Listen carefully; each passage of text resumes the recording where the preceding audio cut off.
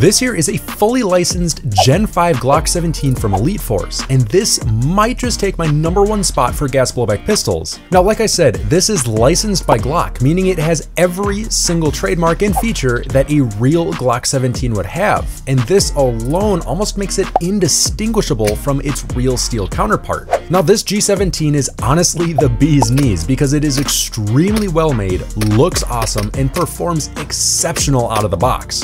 One downside here is that Glock did want a nice profit from their branding, so these are a bit expensive.